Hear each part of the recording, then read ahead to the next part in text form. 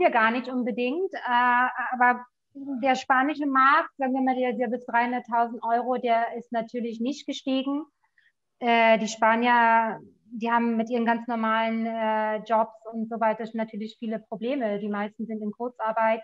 Mhm. Der Tourismus ist komplett eingebrochen, also dieser Massentourismus. Äh, deswegen, also dieser Markt liegt einfach mehr oder weniger brach. Das heißt, wir können schon, ich weiß natürlich schon, dass du da diesen Markt nicht bedienst, aber ich glaube, das ist ja für viele auch spannend zu wissen. Das heißt, wir sprechen schon wirklich von zwei konkret unterschiedlichen Märkten in Mallorca.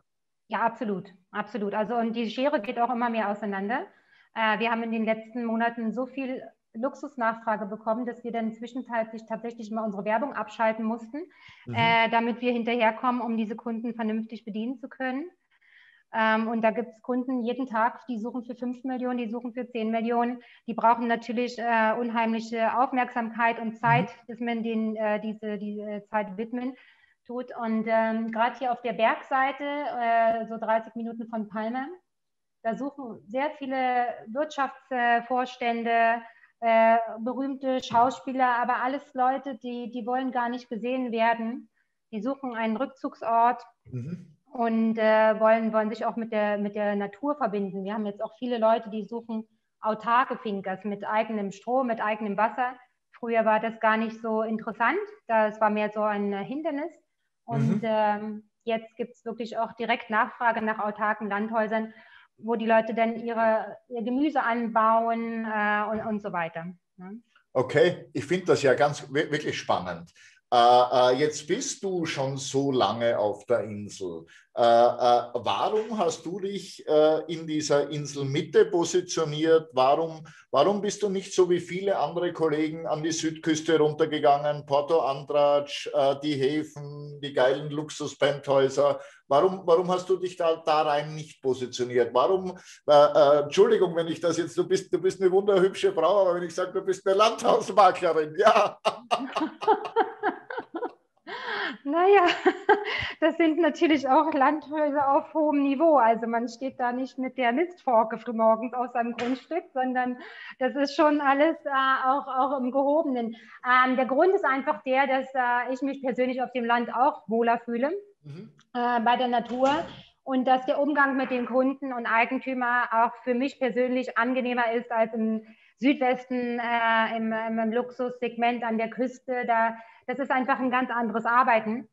Und jeder muss auch machen, was zu einem passt. Ähm, wir wollten uns da nicht einreihen in, in, die, ähm, ja, in die Reihe der, der Makler, ähm, wo dann 15 Makler nebeneinander in, in einem Ort sitzen und mhm. äh, Haifischbecken und jeder gegen jeden. Das ist nicht unsere Philosophie.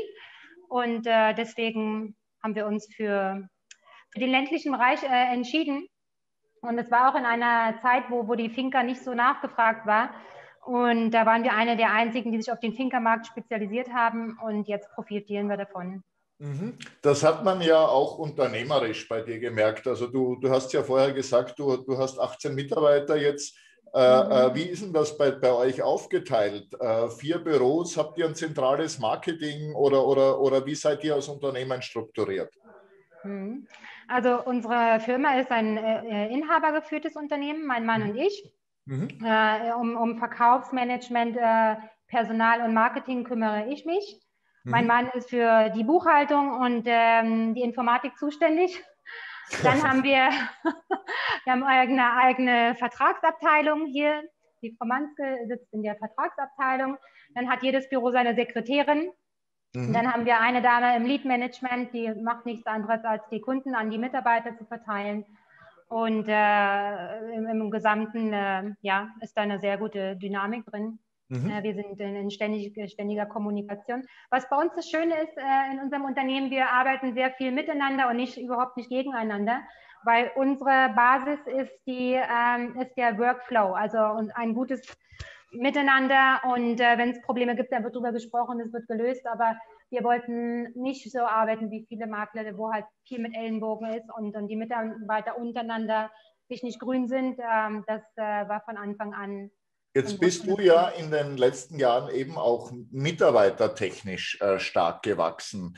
Äh, hatten, haben da die letzten beiden Jahre oder, oder dieses letzte Jahr Corona-mäßig wie sind denn da deine Gedanken? Möchtest du weiterhin wachsen? Stellst du noch jemanden ein oder, oder möchtest du, sagst du eher, wir warten jetzt einmal ab, wie es sich entwickelt?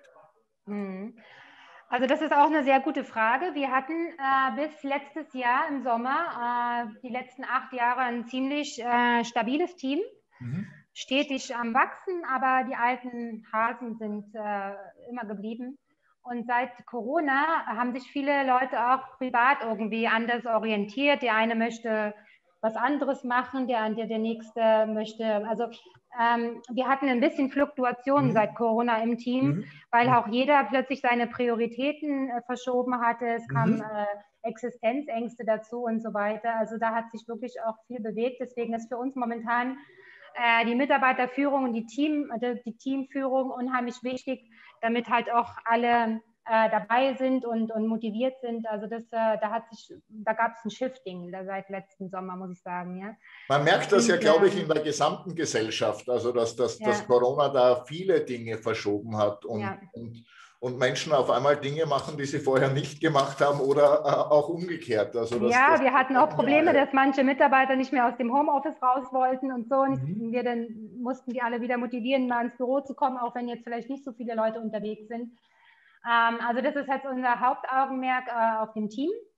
Und ähm, wie es so in der Zukunft sich entwickelt. Also momentan ist es wirklich so, wir haben vier Büros, aber die meisten Anfragen kommen übers Internet und über Empfehlungen. Mhm. Also wenn wir jetzt äh, gar kein Büro irgendwo hätten, wäre das momentan eigentlich, glaube ich, auch nicht so schlimm das wäre das wär nämlich meine nächste Frage gewesen. Jetzt sind vier Büros vorzuhalten. Äh, das kostet auch in Mallorca eine Menge Geld. Also ja. äh, äh, vor allen Dingen, wenn man es äh, so wie du auch teilweise in prominenter Lage hat am Hafen oder sowas. Äh, gleichzeitig äh, die Nachfrage aus dem Internet hat sich wahrscheinlich in den letzten 13 Monaten noch einmal verzehnfacht. Also, ja. so dass wirklich einer über das Ladengeschäft bei euch reinmarschiert und sagt, ich kaufe die Finca um 5 Millionen. Das ist ja mittlerweile eher der Einzelfall. Ja. Äh, denkst du da auch nach drüber, sagen wir mal, äh, gleichbleibende Anzahl von Menschen, aber weniger Shops und lieber unsere in noch einmal dieses Geld ins, ins Internet rein investiert? Mhm. Also dadurch, dass wir sehr, sehr gut verkaufen, wir hatten das, ähm, das beste erste Quartal seit unserer Firmengeschichte dieses Jahr. Mhm. Äh, deswegen ist es jetzt keine finanzielle Entscheidung, ob wir Büros äh, abbauen oder aufbauen. Und wir können das sicherlich auch äh, ein paar Jahre aussitzen. Die Frage ist, wie sich das Ganze entwickelt. Also wenn das jetzt immer mehr in, in Richtung Internet geht und immer weniger Leute kommen, ähm, dann ist vielleicht schon irgendwann die Überlegung, dass man ein großes Business Center hat, alle Leute zusammensetzt und das Geld ins Internet steckt. Ja? ja. Aber das ist jetzt keine kurzfristige Entscheidung, sondern eher auf die nächsten fünf Jahre gesehen. Ich finde das ja auch äh, äh insofern spannend, man, du hast ja diesen Bekanntheitsgrad. Äh, ähm, die, die Läden sind teilweise jetzt weder von deinen Mitarbeitern äh, frequentiert noch von den Touristen frequentiert. Äh, hast du gemerkt, dass du in den letzten zwölf Monaten zwar besser verkaufst wie früher, aber bei besser verkaufen bei auch viel weniger Anfragen, also da viel mehr Effizienz drinnen. Diese äh, äh, teilweise diese, diese, kann man ja ruhig sagen, Immobilientouristen, sind die weggefallen? Auf jeden Fall. Also das ist auch ein besseres Arbeiten, auf jeden Fall. Also die Immobilientouristen, die wir äh, eigentlich auch in unserer Gegend gar nicht so stark hatten, wie jetzt vielleicht ein Makler in Portals oder Andratsch. Wir hatten sowieso schon weniger Immobilientouristen, aber jetzt kommen die Leute wirklich ganz gezielt ähm, und die kommen auch nicht mehr dreimal im Jahr, um, um sich was anzuschauen, sondern die machen die Vorauswahl übers Internet. Wir machen schon Online-Viewings. Manche machen nach dem Viewing sogar schon ein Angebot. Und dann mhm. kommen die ein Wochenende und dann fällt die äh, Verkaufsentscheidung. Also das, äh, das ist schon äh, viel äh, zielführender jetzt auch die Anfragen. Und äh, die Leute äh, treffen, treffen schneller die Entscheidung. Ja? Wir haben jetzt momentan auch ein Pärchen hier, die suchen bis 15 Millionen, haben sich in ein Hotel eingemietet und sagen, wir bleiben jetzt so lange, bis wir was gefunden haben. Ach, das ist aber süß. Genau. Das ist auch ganz, witzige Anekdote. Also die Leute kommen einfach nicht mehr so oft, um sich Häuser anzuschauen. Äh, deswegen entfällt auch dieser Immobilientourismus, ja. Okay, cool. Also eigentlich mehr Effizienz.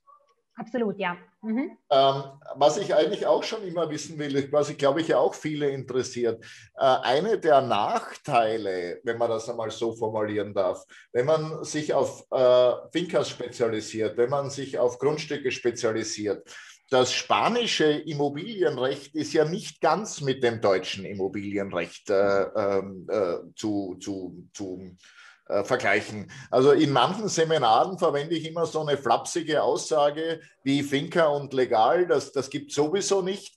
Äh, äh, jetzt kann ich mir mal vorstellen, dass du, sagen wir mal, um das auch wieder vorsichtig zu formulieren, dass ihr wirklich mit einer Menge, sagen wir mal, Immobilien zu tun habt, die im Graubereich sind. Äh, wie geht ihr mit solchen Sachen um? Irgendwann muss man es ja kommunizieren. Hm.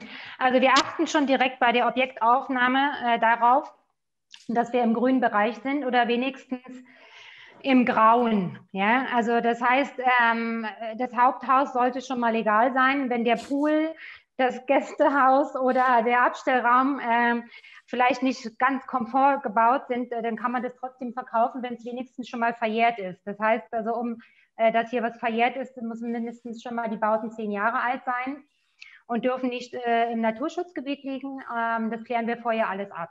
Und das, der Kunde wird eigentlich schon vor der Besichtigung informiert, mhm. äh, damit er sich nicht erst verliebt und hinterher dann äh, der böse Makler hat nichts gesagt. Also wir wissen ganz genau, was legal ist und was nicht. Wir können das vorher abklären. Äh, und der Kunde wird. Aber das heißt, ihr müsst schon überproportional viel Zeit in die, in die Objektrecherche investieren, wenn ihr denn, oder sagen wir mal so, in dieser Auftragsannahmezeit. Ja, ja. Mhm, genau.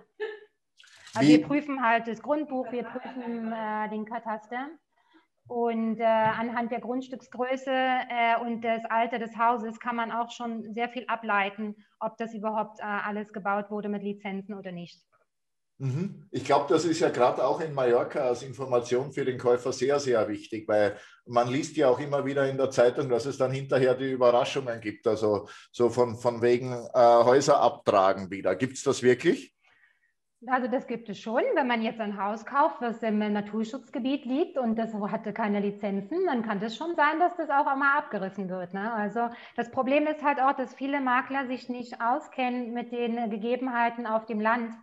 Äh, mhm. es ist auch ähm, ehrlich gesagt schwierig, weil es gibt so viele Einschränkungen und aber auch wieder Abwandlungen. Also wenn man sich nicht äh, auf diesen Markt spezialisiert hat, dann ist es ziemlich schwer, das auch zu verstehen.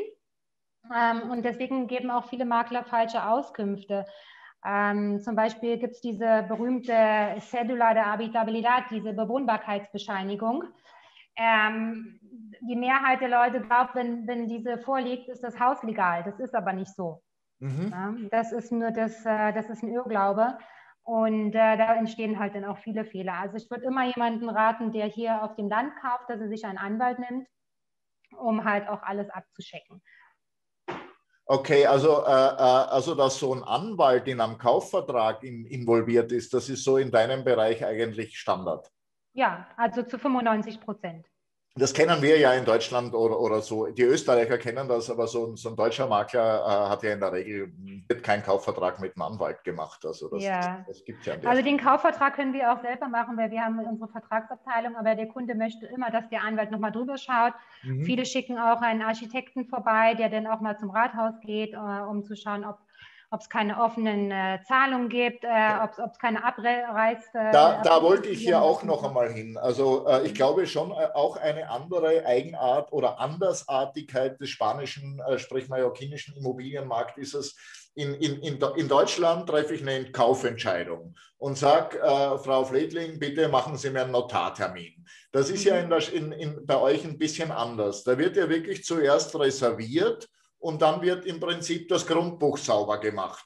Äh, äh, gerade bei älteren Häusern von dem, von, dem, von dem Moment der Reservierung bis zum Kaufvertragsvollzug, das dauert ja ein bisschen länger im Zweifelsfall. Was kann man da für Zeiten rechnen?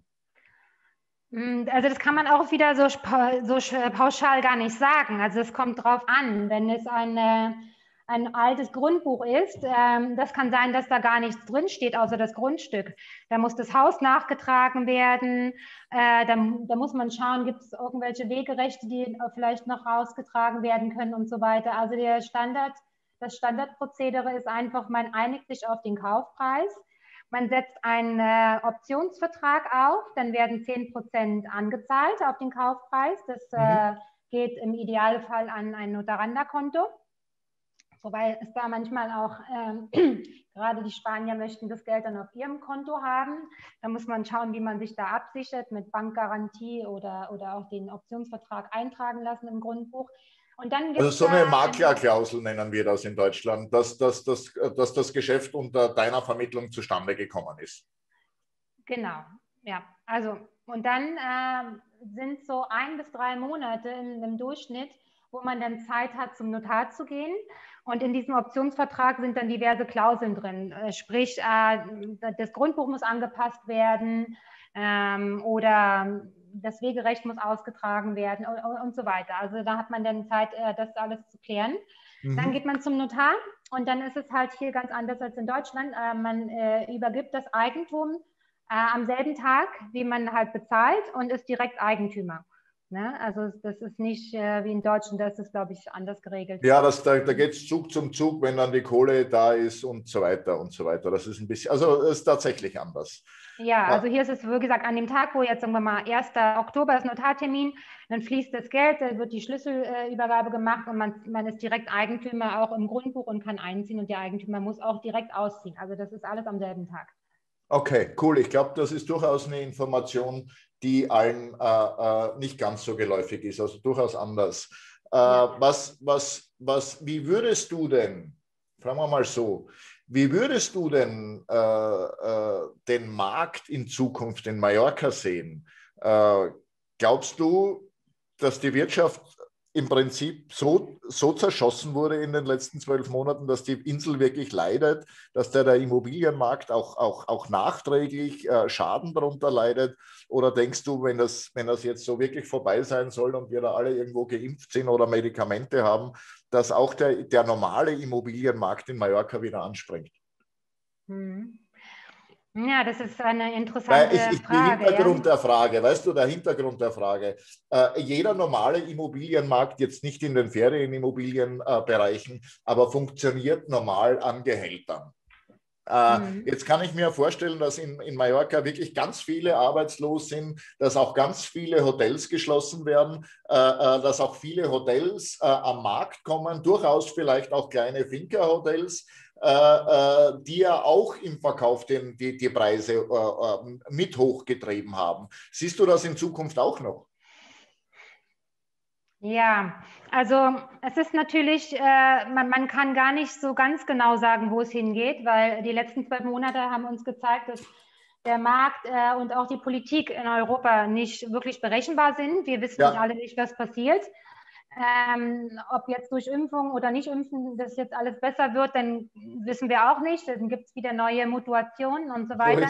Also so richtig äh, weiß man nicht, wo es hingeht. Aber der Trend, den wir hier absehen, ist einfach, dass der, Luxus, äh, der, äh, der Luxusmarkt äh, weiter nach oben geht. Die Preise werden teilweise auch erhöht oder okay. sind gar nicht mehr verhandelbar.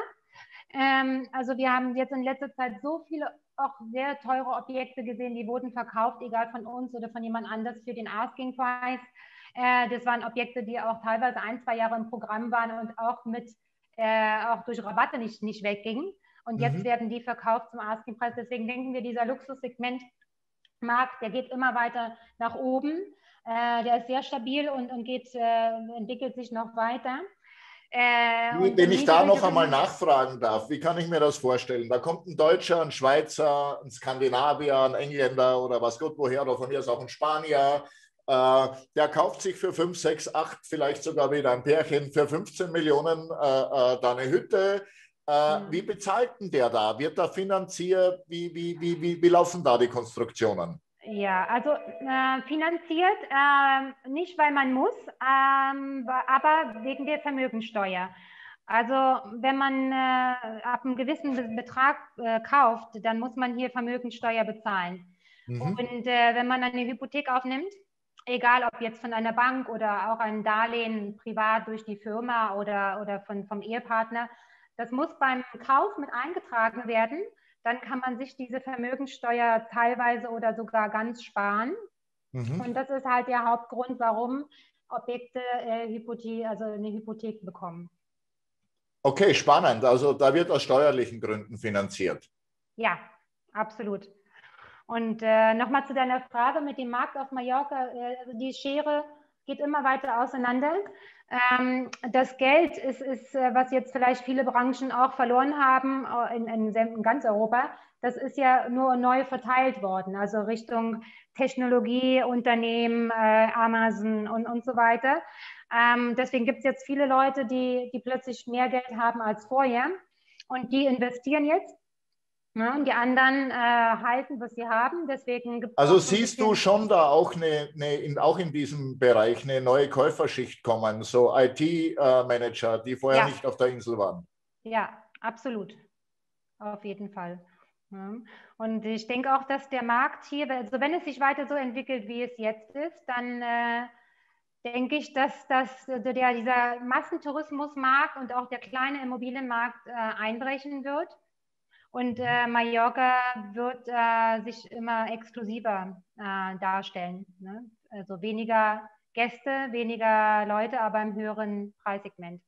Ah, das ist ja eigentlich wie bei uns Maklern äh, äh, geht zum Profi, auch wenn er eine Spur teurer ist. Äh, jetzt haben wir ja in, in Deutschland, ich weiß gar nicht, ob du das mitbekriegt hast, Mandy, zum 23.12. ein neues Provisionsgesetz bekommen.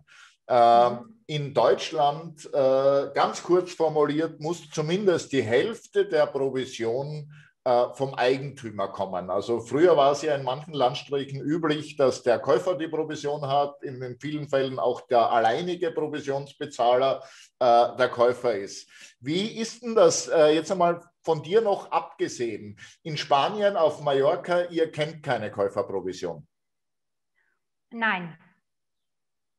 Also, bei euch ist es. Ja bei euch ist es grundsätzlich so, dass die gesamte Provision äh, äh, der, der Verkäufer zahlt. Ähm, ja, also im Prinzip schon. Äh, der, der Preis, den man sieht im Internet, der hat unsere Provision schon inklusive. Mhm, das, genau. also nicht, das wird nicht extra ausgewiesen wie in Deutschland. Also das ist schon mit dabei. So wie, wie in jedem anderen äh, Vermarktungsgut äh, ist in dem Kaufpreis von den 15 Millionen eine bescheidene Vertriebs- und äh, Marketingprovision integriert. Genau, das ist integriert. Die Rechnungsstelle geht an den Verkäufer und der Makler bekommt dann beim Notartermin auch direkt seine Bezahlung. Okay, die, fällig ist, äh, die Provision ist fällig bei der, äh, und der hat ja auch sofort die Kohle. Das ist ja, ja. eben anders. Das, genau. das ist gut. Äh, jetzt äh, schauen wir mal weiter. Jetzt gibt es ja in, in Mallorca, da bist ja du nicht die einzige Maklerin. Genau. Leider. Oder zum Glück, ne? das würden wir gar nicht schaffen. Aber äh, es gibt ja da äh, wirklich hunderte von Makler. Ich, kenn, ich bin oft auf der Insel und jedes Mal sind fünf neue da und drei alte sind wieder weg und, und eine wilde Fluktuation. Das heißt, der, der, der Wettbewerb unter den Maklern, der ist ja schon sehr hoch. Genau, ja. Okay. Das ist schon wenn, so. Mhm. Wenn, wenn man äh, einmal die Branche als Gesamten sieht, wie hoch schätzt du auf der Insel die Durchschnittsprovision ein?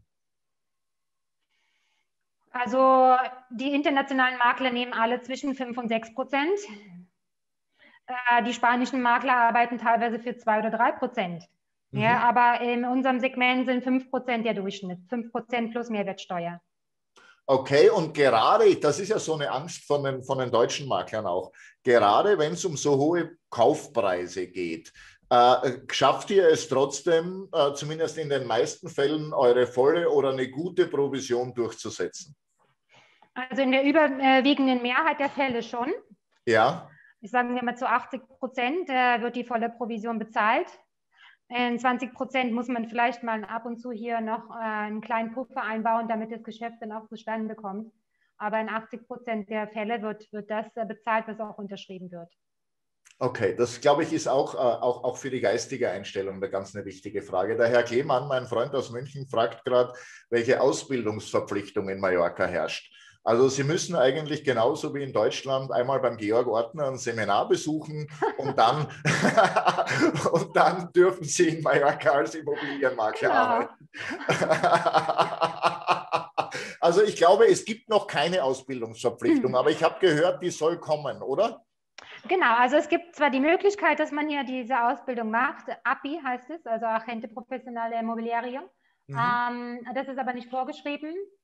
Und äh, es gibt jetzt eine, eine, wie sagt man, Assoziation, eine, ja, da fällt mir das deutsche Wort jetzt nicht ein, eine Gemeinschaft, Vereinigung, äh, Vereinigung ähm, die sich dafür einsetzt, dass mhm. halt die Makler alle eine Zertifizierung bekommen, äh, um halt den Markt auch zu schützen und zu kontrollieren. Also wir finden das eine sehr gute Sache. Wenn es kommen sollte, sind wir natürlich auf jeden Fall dabei, denn ähm, aber klar, das ist noch nicht verabschiedet. Ich glaube, es gab eine Verzögerung wegen Corona. Das sollte letztes Jahr im Juni verabschiedet werden. Und dann äh, ging es um Corona und andere Probleme und dann wurde die Entscheidung vertagt. Mhm. Aber wir würden das auch sehr begrüßen, weil es gibt halt wirklich äh, Makler ähm, auf der Insel, die, die haben keine Ahnung. Und äh, dann gibt es halt diese, diese Probleme, ne? dass der Käufer nicht weiß, dass er eine illegale Finca gekauft hat, wo dann der Bagger kommt und alles abreißt. Äh, und das, das passiert tatsächlich. Und, okay, äh, das ja. bringt mich ja auch, äh, ähm, äh, ich habe da noch eine andere Frage im Chat gesehen, zu der komme ich gleich. Ähm, halten wir mal fest, viele Makler in, in Mallorca, keine Verpflichtung. Äh, die Guten setzen durchaus auch, auch wirklich hohe Provisionen durch. Die Schlechten oder die Einfachen mit die Schlechten, das ist vielleicht gar nicht richtig formuliert, da kann mir wieder einer berechtigt böse sein. Äh, die eher Einfachen, die kostengünstig organisierten nehmen so zwei, drei Prozent. Gibt es bei euch auch schon so reine Internetmakler, wie es in Deutschland gibt, die gar kein Büro mehr haben, äh, äh, die nur totale prozessartige Arbeitsteilung haben und im Prinzip alles übers Internet machen? Mm, ähm, also so genau weiß ich das gar nicht. Äh, dann gibt es es nicht. Ja, äh, zweite Frage, Firmen, ja. zweite Frage in diesem Zusammenhang. Äh, gibt es in Mallorca, äh, ich merke das gerade auch in der Schweiz, immer im Moment stark steigend, gibt es bei euch Festpreismakler? Die sagen, für 10.000 Euro verkaufe ich dein Haus. Habe ich auch noch nichts von gehört. Okay, super. Danke für die Info an, an, an der Stelle. Okay, ähm, wie schaut es denn bei euch, und das ist, geht ja in die gleiche Richtung rein, Alleinauftrag, allgemeiner Auftrag. Äh, das ist ja in Mallorca so in meiner Wahrnehmung durchaus anders wie in Deutschland. Ja, also das ist hier mit diesen Alleinaufträgen gar nicht so üblich. Ähm, mhm. Natürlich haben wir auch einige äh, Aufträge in Exklusivität. Wir nehmen aber nur diese Objekte überhaupt in Exklusivität, äh, von denen wir der Meinung sind, die, die sind auch gut verkäuflich, mhm. äh, von der Lage, von der Qualität und natürlich vom Preis. Weil, ähm, also es ist halt in Spanien generell nicht üblich. Es, kann, es können zehn Makler dasselbe Objekt haben und wer dann halt besser ist oder schneller, der macht den Deal. Äh, ähm, bei dir, nur dass wir dann ein Gefühl kriegen, von zehn Objekten, die du hast, wie viele hast du im Alleinauftrag? Also wir haben im Programm momentan 700 Objekte. Davon sind 600 online, äh, 100 im Secret Marketing, also die sind, dürfen nicht veröffentlicht werden. Mhm. Und ähm, vielleicht haben wir 30 insgesamt exklusiv. Mhm. Also relativ kleiner Prozentsatz. Mhm. Ja, vielleicht 5 Prozent oder so. Ähm, aber wir, wir möchten auch nicht unbedingt so viele exklusiv haben, weil wir müssen ja auch durch diese Nicht-Exklusivität-Mentalität auf der Insel konkurrenzfähig sein. Und deswegen brauchen wir ein großes Tool von Objekten, die wir ins Programm aufnehmen. Äh, wenn wir jetzt davon 100 exklusiv hätten, mhm. dann würden hier jeden Tag 10 Eigentümer stehen und fragen, ähm, was ist denn mit unserem Haus? Also, Wo bleibt die Kohle? ja, und ähm, das ist halt ein anderes Modell hier in Spanien, was aber auch eigentlich so ganz gut funktioniert. Ja, also ich finde das, äh, oder ich glaube, viele Teilnehmer finden das ja an der Stelle spannend. Ich kann mir mal vorstellen, dem einen oder anderen ist gerade der Kaffee runtergefallen im Büro, äh, als du gesagt hast, ich habe 700 Objekte.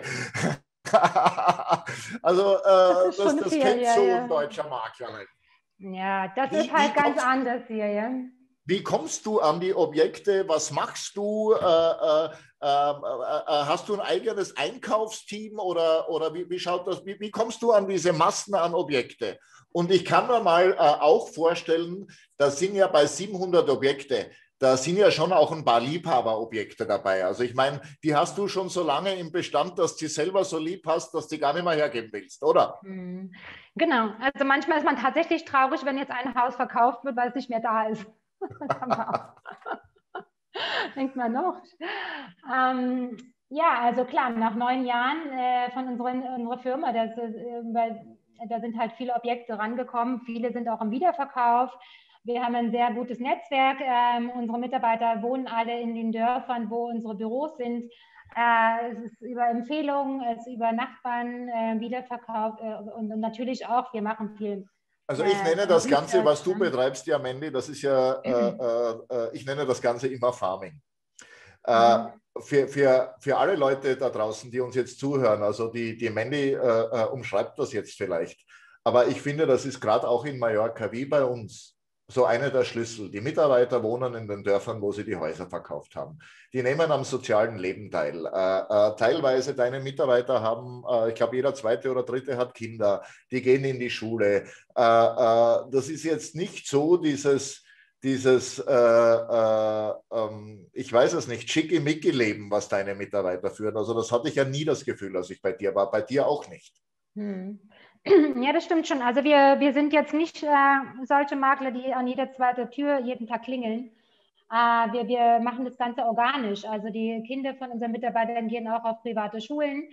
Man lernt dann dort viele Leute kennen, die kaufen oder verkaufen wollen. Wir haben auch nicht nur Leute, die äh, im Ausland sitzen und kaufen wollen, sondern man kann fast sagen, 30, 40 Prozent unserer Käufer sitzen tatsächlich schon auf der Insel und ähm, kaufen, kaufen sich ihr Zweithaus oder verkaufen eines und, und kaufen was Neues.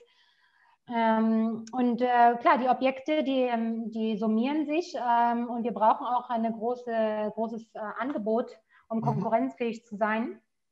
Mhm. Was manchmal sehr schwierig ist, natürlich, äh, dass die Preise uniform sind, gerade bei spanischen Eigentümern.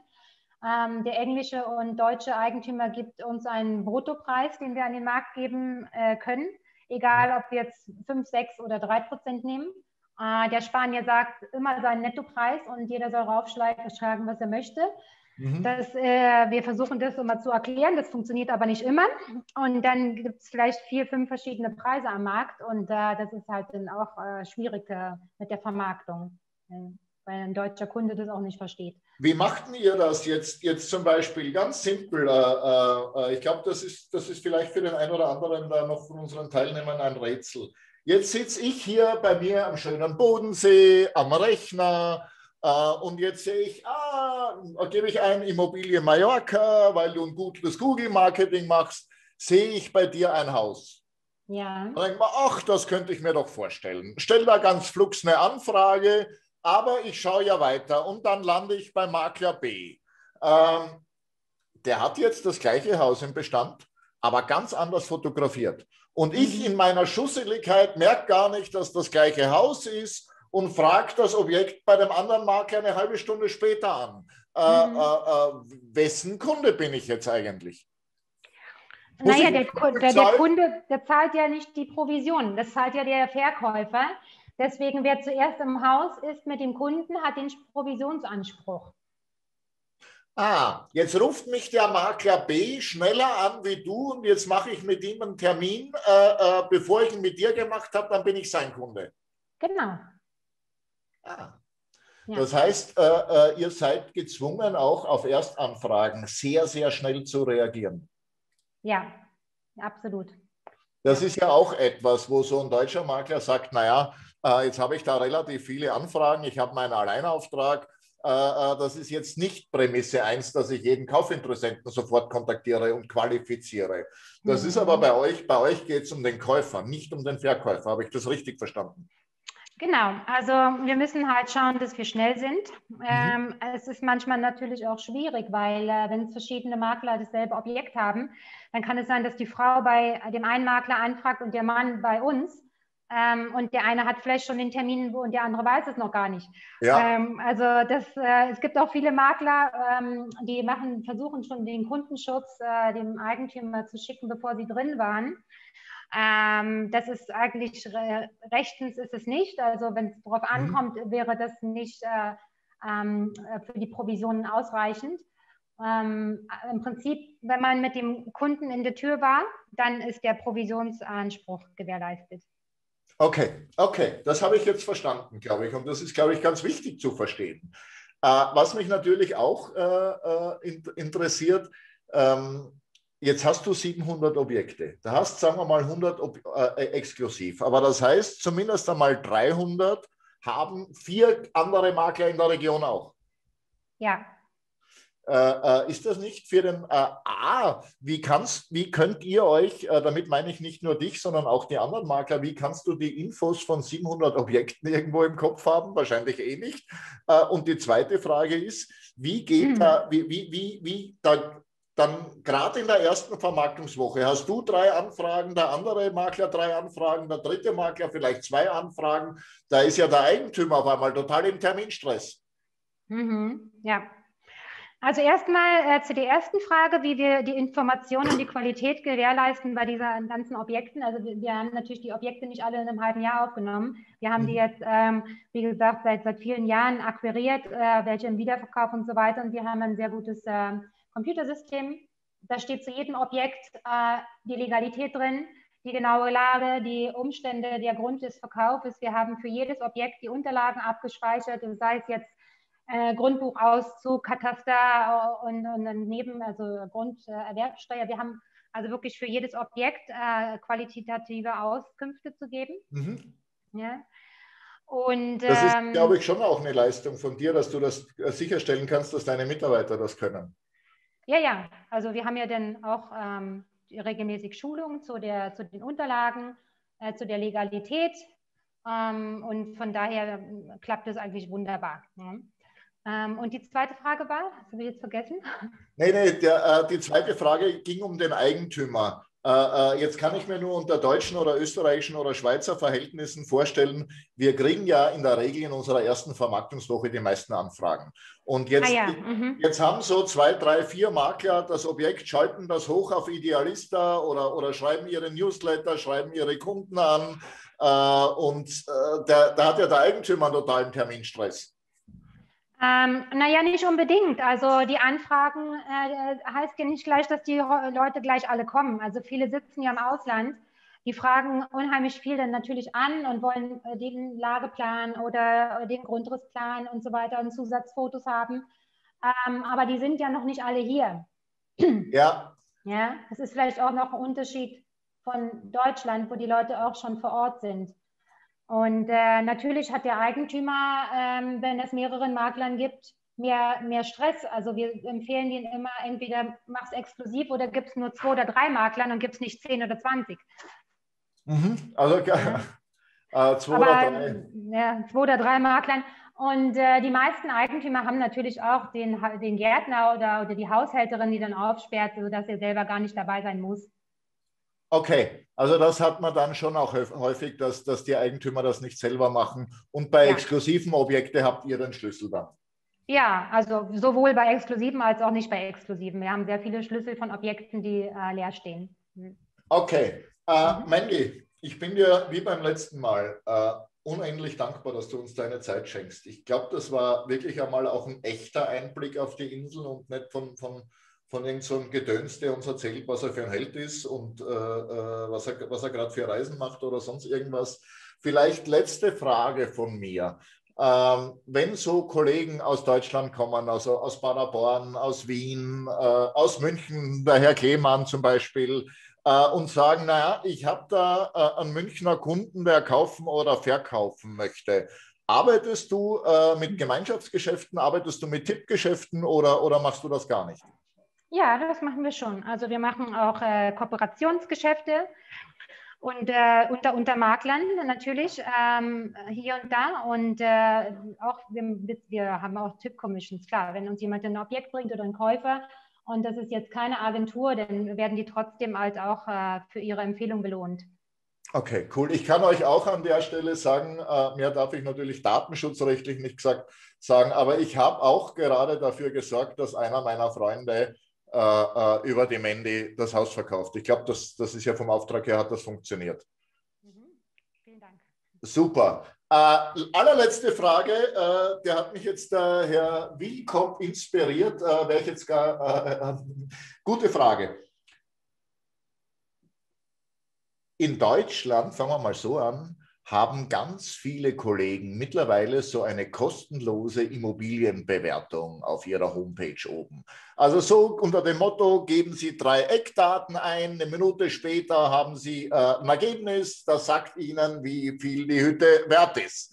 Äh, das kann ich mir aber bei so einem Landhaus mit 8000 Quadratmeter und mit einer teilweisen, äh, mit einem illegalen Pool, wie macht ihr eure Bewertungen? Also online kann ich mir mal vorstellen, das dauert bei euch ein paar Jahre noch, bis die Datendichte so hoch ist. Ja. Oder gibt es das schon? Also bei uns gibt es nicht. Wir bieten äh, eine kostenlose Immobilienbewertung äh, an, aber nicht online, sondern mhm. wir fahren dann auch vorbei und schauen uns das Objekt an. Und wir arbeiten äh, überwiegend mit dem Vergleichswertverfahren. Das heißt, wir kennen ja unseren Markt, unsere Umgebung, wir wissen, was die Objekte kosten, zu welchem Preis die verkauft worden sind wie die Nachfrage momentan ist? Ein bisschen lauter. Ich glaube, du wirst leise gerade. Ja, geht, geht jetzt? Ähm, nimm das Ding hoch. Vielleicht das? Hallo? Ach ja, jetzt geht es wieder. Vielleicht auf die letzte Minute, das nochmal ganz kurz okay, haltest. Ich wiederhole es nochmal. Also ähm, man kann das nicht so pauschalisieren. Wir haben eine, einen Service, der natürlich Immobilieneinwertungen anbietet, anhand vom ähm, Vergleichswertverfahren. Sprich, was wurde verkauft in der Gegend, was dürfen die Objekte kosten, wie ist die Nachfrage. Äh, von, von so einem Tool, von dem du sprichst, halte ich hier für unseren Markt gar nichts, weil ähm, man kann das nicht vergleichen. Das ist, das jeder, jedes Objekt ist einzigartig und unheimlich wichtig ist immer der Blick, die Lage, die Ruhe, ob Stromkabel rübergehen oder nicht, ob es legal ist oder nicht äh, und so weiter. Also ist, man, man kann es nicht vergleichen. Deswegen okay. würde das bei uns nicht funktionieren. Äh, ist für mich absolut äh, nachvollziehbar.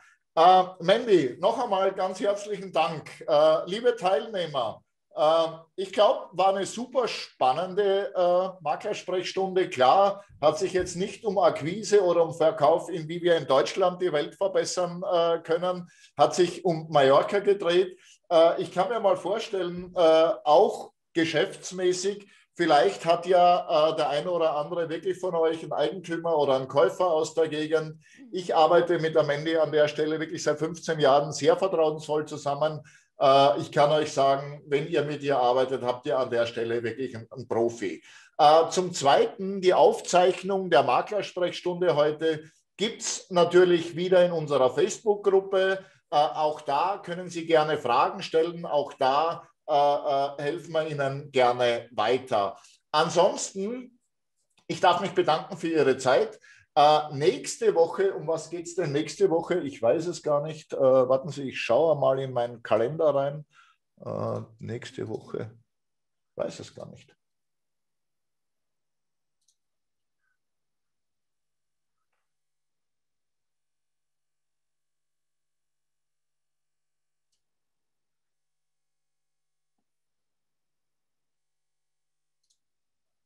Nächste Woche geht es ums Farming. Ganz spannend. Also kann ich Ihnen nur raten. Ich habe den Frank Kirsch äh, äh, zu Gast, Wahrzeichen Marketing aus Köln. Mit dem werde ich über Zielgruppen sprechen und wie wir die erreichen können. Also äh, halte ich für einen ganz wichtigen Termin persönlich. Seien Sie dabei. Nächste Woche Dienstag, 11 Uhr. Äh, Mandy, noch einmal Dank. Allen Erfolg dieser Welt.